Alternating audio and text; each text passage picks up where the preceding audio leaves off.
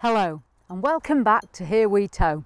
This week, by popular demand, we're going to be reviewing this tow vehicle. It's the Ford Ranger Wildtrak.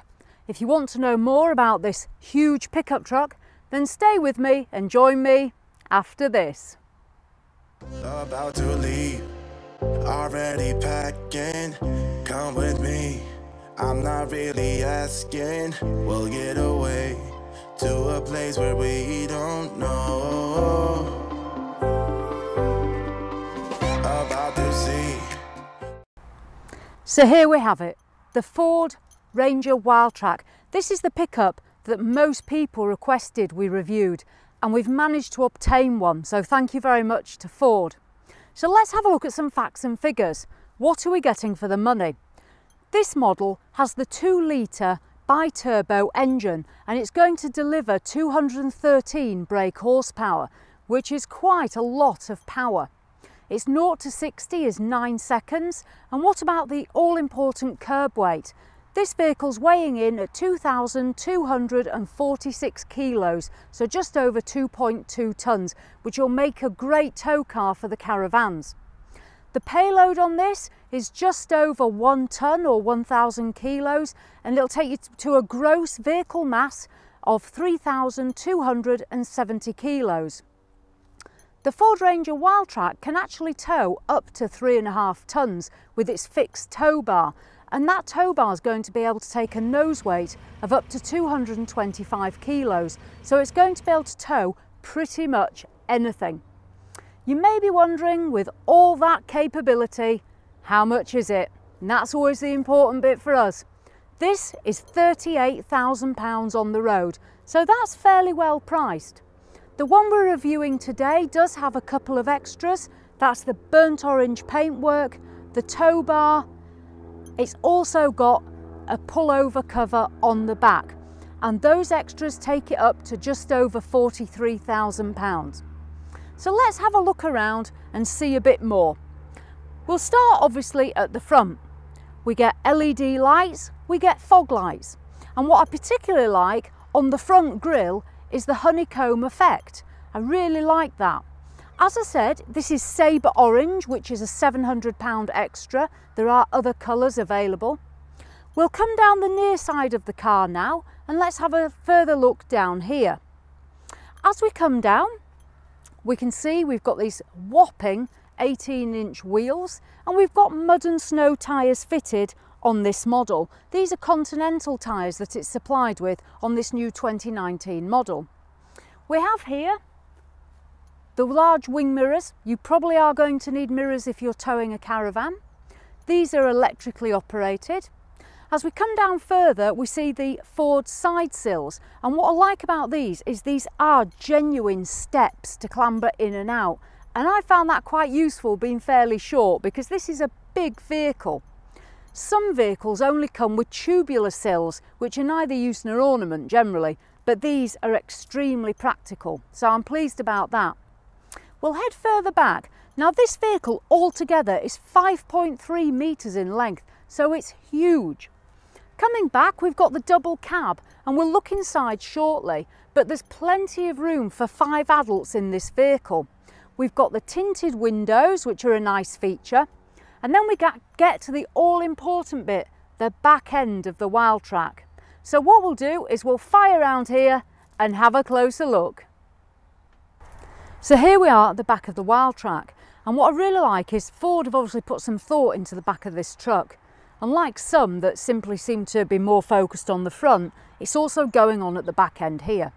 As I say, this one has the mountain top roller, which is £1,500. Great for keeping all your things clean and dry while in transport, such as your air awnings or chairs and tables.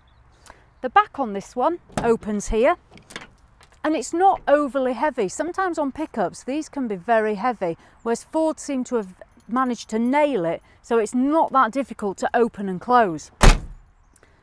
As you'd expect, we do have a reversing camera and this is here just under the Ford badge. What I like about this one is when you use it inside, you can also see the tow bar and that for me is important when I'm reversing up to a caravan or trailer. As well as the camera, we also have rear reversing sensors and we've also got them at the front. So the vehicle's well covered all round. So despite its size, you should be fairly safe in car parks. The tow bar, we've got a fixed tow bar here and as I said before, it's going to be able to tow three and a half tonnes with a nose weight of 225 kilos. So as it goes, the back end of the Ranger Wildtrak is really good looking. Let's head back around the offside and then we'll shoot inside to see what's on board in this cab. So here on the offside, no great difference to the near side. Again, we've got the wheels, we've got the side step, we've got the Wildtrak graphics, and we have the bi-turbo honeycomb badge piece here. What we'll do next is have a look inside. And one thing this vehicle does come with is the keyless entry. So it's no problem getting in and getting started. So we're in the cab of the Wildtrak and I like it. We've got leather seats, we've got Wildtrak embossed on them, we've got the leather dashboard, steering wheel and gear stick. In terms of the gearbox, this is automatic and gives you 10 speed. It's also four-wheel drive is the vehicle, so we do have a control for two high, four high and four low. We have heated seats, we've got a heated front and rear windscreen and we've got air conditioning. Importantly, we have got a touchscreen satellite navigation system here. It is easy to use, even I haven't gone wrong with it. And from here we can also operate the climate controls if you don't want to reach down here and be distracted using them here. For the driver, we've got the speedometer in miles and kilometres per hour and there's also a digital display which shows other information about the vehicle. There's electric windows, electric mirrors and all the other gadgets you're probably going to want. We've got a cup holder here so when you go and get your brew you can bob it in there. Overall the cab is a nice experience. It mixes well between the pickup truck and the practical side and also a large SUV. So for 38,000, the interior does meet the money. So that's the inside of the Wildtrak. I think what we need to do next though is hit the road and take it for a test drive. So Jules, it's over to you. So thanks for that Karina and it's over to me. Well, how have I found it? I get the fun part. I get to do it without towing and I just get to drive it as you would as an everyday vehicle. However, found it as an everyday vehicle, I've got to be honest, absolutely fantastic. It's comfortable. Let's start from the inside. So, the seating. The seating, it hugs me, lumbar support, it's adjustable, it's, yeah, it's absolutely what you'd expect to find from a top of the range offering from Ford, the Ford Wildtrak. Okay, apart from the Raptor and other special editions, but where we're at this is the top of the range so uh, yeah happy with that. The driver's seat is fully adjustable electric. I think the passenger seat has less options so that's something to be aware of and something for consideration. I've driven this now on a whole host of roads. I've driven it on A roads B roads motorways dual carriageways and as you can see here country lanes. And I've found it really really good. The driving itself it's very responsive. It is a pickup truck and as always it gives you a great view and a commanding view of the road. Great visibility through the wing mirrors. They're nice and big so you can see all around you. And also the privacy glass in the back you've got 360 degree view field of view which is fantastic. Like I say when we're talking about the ride itself it is a pickup and without anything in the back you can feel a bit of spring in the back. But to overcome that you just need to load the back up and it is an everyday vehicle. The cab feels like an SUV it feels like a car it doesn't feel agricultural it feels really really nice. So I'm really really pleased with this and I, have been wanting to do the Wildtrak review so I'm so happy to be able to have the opportunity to do it. The infotainment system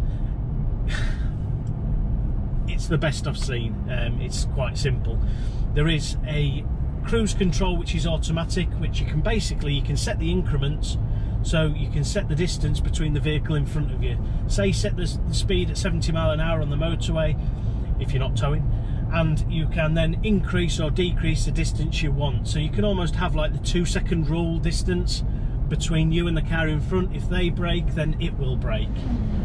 So really, really good. It also has automatic cameras for speed limits and signage. So it'll give you a little sign in the in the corner where your fuel gauge is, saying you've entered a 40 mile an hour zone. And if you've got the speed limiter set, it'll drop you to the 40 mile an hour zone. So no matter how far you put your foot down, it won't go above 40 unless you go into kick down and then it'll override it.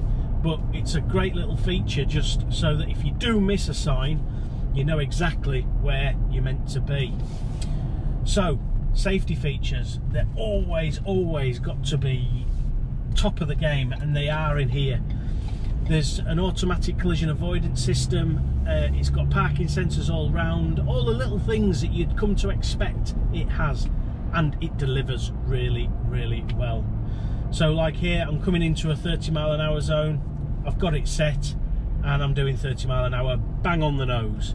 That's me with my foot almost to the floor, still doing 30 mile an hour and taking it back off now and it'll drop down below 30. You probably can't tell, but it is doing it and it works seamlessly. The infotainment system, now this is a game changer for me because it has voice recognition for everything in there. So you can set a dist I'll show you. If I press this, Please say a command. Navigation. Navigation. Please say a command. Find an address. Please say the house number and the street, followed by the town in United Kingdom or say enter postcode to search for a postcode. To search in another country, say change country. I'm not going to do all that. However, it has it so you can actually do stuff hands-free and set your navigation. So again, keeping you sturdily on the on the steering wheel and your attention focused. So really good system. So we've covered the bits that I wanted to cover. So we've got the safety, we've got the ride, the handling and everything else we've covered. The engine is fantastic, plenty of grunt, goes when you ask it to, delivers what you need it to. Um, the privacy glass I love. The roll cab, I'm actually growing to love that as well. I didn't think I'd like it as much as I do, but I do like it because you can actually pull it at different stages and it'll stop and leave the bed open if you so wish, if you have larger items. So that's me covered. So thank you very much for that little uh, bit that I wanted to cover in just normal driving and I will pass you back to Karina. So if you're looking at purchasing a Wildtrak for towing, the question is how well does it tow? If you go down to your local Ford dealership for a test drive, you're probably not going to get the opportunity to hitch up your caravan or trailer. But thanks to Ford, we're able to do that for you. So how does it tow? Very well. This vehicle is designed for towing and carrying weight. If you're thinking of purchasing this as an everyday vehicle, there's a couple of things you need to know. First of all, if you want a nice steady ride, you're going to need about 30 kilos over that axle in the back. And that's because without it, it will bounce along like a kangaroo. It'll do that because it's designed to carry load. We've put our Vango awning in the back, and that's made it a really nice ride. We've hitched up our caravan. Our caravan weighs 1,750 kilos, and we're currently out towing with it. So how does it tow? The reversing camera is excellent. I was able to reverse back with the tow ball in clear sight under the hitch, which makes life a lot easier. When we connected up the 13 pin electrics, it stopped the reversing sensor's noise, which is the most annoying thing I find with our SsangYong because it's not wired up to turn those off. So we've hitched up and headed off. The engine delivers the power, it's excellent. There's no lag, there's no effort in towing such a big caravan. The brakes work extremely well. It stops it very well for the roundabouts and junctions.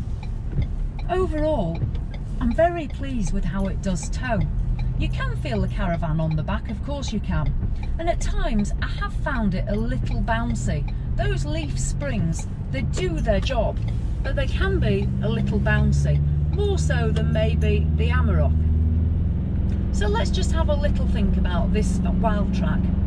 38,000 on this model, and with the extras fitted to this, it's taking it up to 43 and a half. So if we took the base model without the couple of extras at 38, it represents excellent value for money. The, it's, it's enjoyable to drive. The two litre engine gives you that throttly noise due to the twin turbos. And I must say, it does tow well. The things for me that I would be concerned about is the amount of bounce on a long journey and also the fuel economy. I'm delivering around 26 miles to the gallon, which that's okay. But then when I'm not towing, we're getting around 29, and that to me is quite a low miles to the gallon, especially with the mileage we do. But all being said, the Wildtrak certainly lives up to expectations. I think we need to have a quick summary back at the site. So I'll head to the site with the Adria and we'll see you there. So there we have it. The Ford Ranger Wildtrak 2 litre bi-turbo. What's the conclusion? What do we think? For me, I love the exterior. I love the styling, the wheels, the colour. Inside, I love the leather, I love the layout, the sat nav, the display, the heated seats, the level of equipment. For 38,000, fantastic. There's just one thing, the ride. When towing, the bounce for me is just too much. On a motorway, it's fine. Anything else, and I've not particularly enjoyed towing with it if I'm absolutely honest. On the other hand though, Jules has loved this truck. He has absolutely loved it. He says he would buy one tomorrow. So that's what we found with the Wildtrak. The towing, the driving and how we've got along with it. If you're interested in buying one of these, I suggest you either go to the Ford website or go to a local dealer and take one for a test drive and see what you think. So as always, thanks for watching and see you in the next one.